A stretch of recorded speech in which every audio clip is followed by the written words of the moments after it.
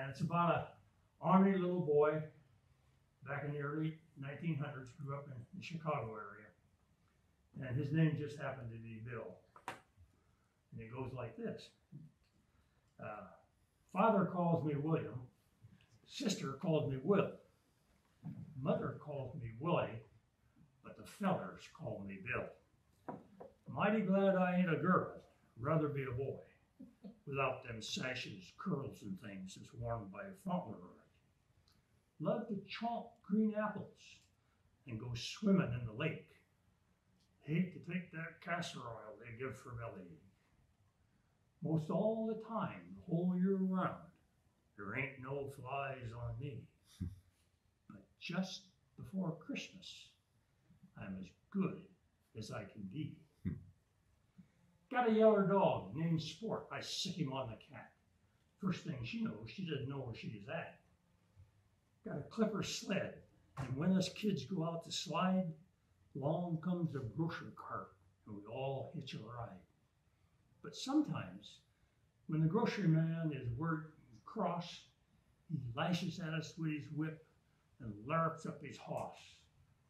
And then I laugh and holler, Oh, ye never touched me. But just before Christmas, I'm as good as I can be. Grandma hopes when I grow up and get to be a man, I'll become a missionary like her oldest brother Dan, who was ate up by the cannibals who live on Ceylon's Isle, where every prospect pleases and only man is vile. But Grandma, she's never been to a Wild West show, nor read the life of Daniel Boone, or else I guess she'd know that cowboys and Indians is good enough for me. Except just before Christmas, I'm as good as I can be. And then old sport, he hangs around so solemn like and still. His eyes, they keep us saying, What's the matter, little Bill? the old cat climbs down off on her perch and wonders what's become of them two enemies of hern who used to make things hum. But I'm so polite and tend so earnestly to biz. Mother says to father, How improved our Willie is. but father, having been a boy himself, suspicions me when just before Christmas I'm as good as I can be.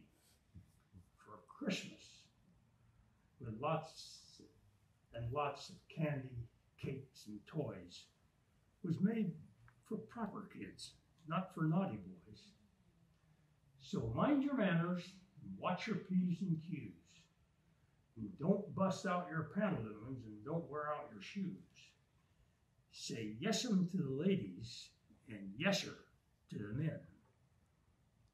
And when there's company, don't pass your plate for pie again, but thinking of what you would like to see under the tree just before Christmas.